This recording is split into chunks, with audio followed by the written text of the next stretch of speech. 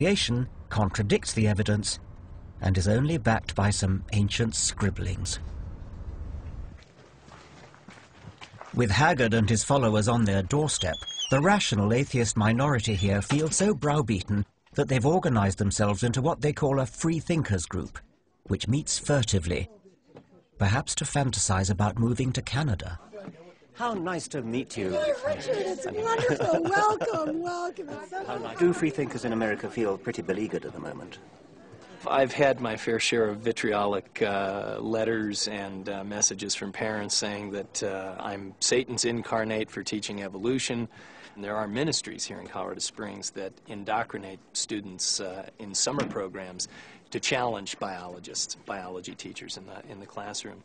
And so is it organized campaign to Oh, they're organized campaigns, absolutely. I do not tolerate it because I teach. But they have this mindset that they are right. If a person comes out in this country as an atheist, they're likely to suffer career damage. They might lose a job. They might not get a job.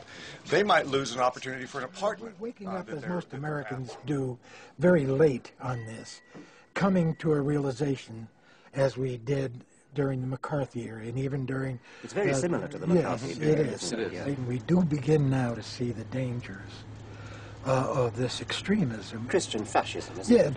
and whatever mantle you want to give it, which I've heard lately is domination theology, dominion Christianity. How many Christians would be left?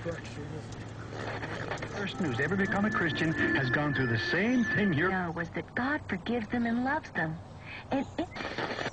In a Christian, I had a hard time. Fundamentalist American Christianity is attacking science.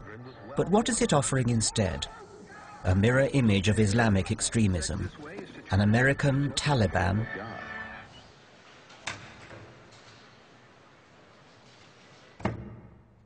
We live in a time of lethal polarization, when the great religions are pushing their conflict to a point where it is difficult to see how they can ever be reconciled. In New York, Madrid and London, we've witnessed the religious insanities of the Middle East penetrate the heart of the secular West.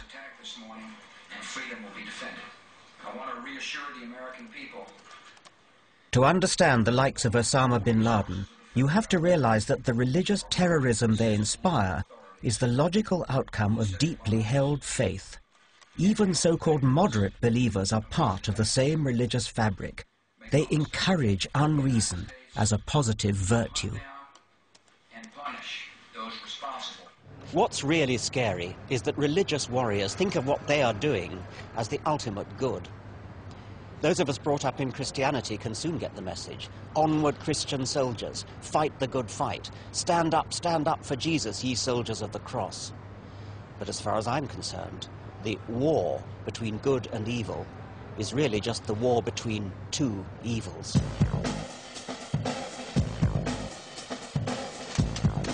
This is the Holy Land, where the terrible certainties of faith began and still rage. I've come here because it's a microcosm of the religious conflicts which threaten rational values and civilization. The dreadful combination of politics and extreme faith has caused the death of almost 4,000 people here in shootings, suicide bombings and reprisals in the last five years.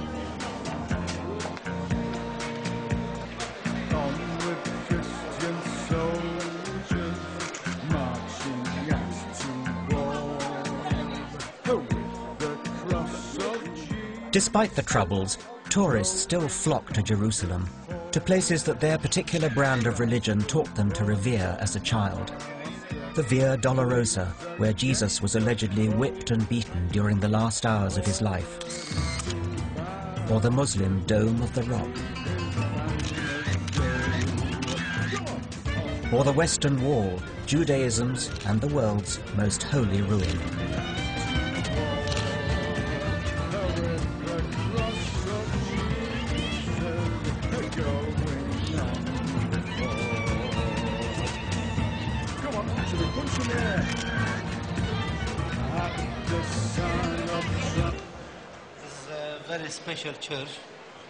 The church here. On the surface, it looks like a place of harmless myth.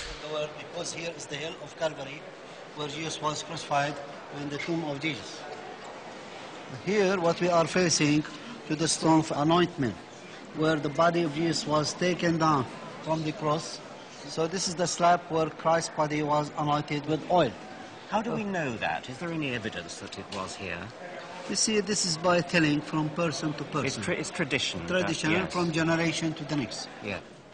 We can see the hole where the cross was stood, where they putting the cross inside the hole, and this is the place where the place of the crucifixion and where Jesus died on the cross. You, you don't really believe that, do you? Uh, this is the Christians, I explained to you that they believe this is the place where the crucifixion took place. And if we come closer to here, to my side, please, thank you. Uh, guard of the tomb is a Greek priest, the regarding the tomb of Jesus. This is left from the big part of the stone which closed the tomb. What we call it the rolling of angels. Watch your head, please. Thank you very much. Yes. This is where you slayed and rose from death. We call it sepulchre, means empty tomb. God bless you. You can touching the tomb. You can make your prayer. Please, uh, I get four days off. You come tomorrow, I leave no Thursday. Forget it. This holy city has to be one of the least enlightened places in the world. And it is also a place of barely suppressed religious hatreds. There will come the day, and that day is now, when you're on our lands spreading these ideas that the soldiers of Allah will not put up with this.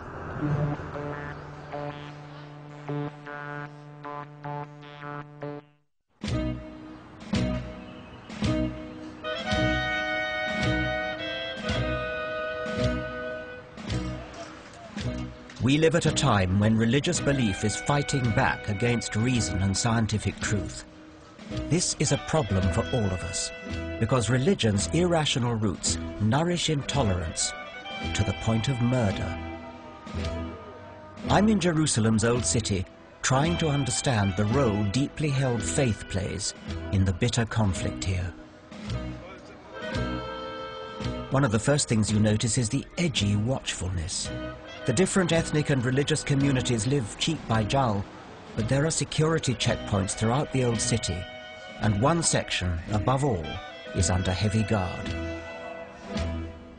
For the Muslims, the compound enclosing the Dome of the Rock and El Aqsa Mosque is, after Mecca and Medina, the third holiest site in Islam. It was from here, they believe, that the Prophet Muhammad flew up to heaven. As bad luck would have it, the Jews believe the same place is the site of the long destroyed First and Second Temples, the holiest shrine in Judaism.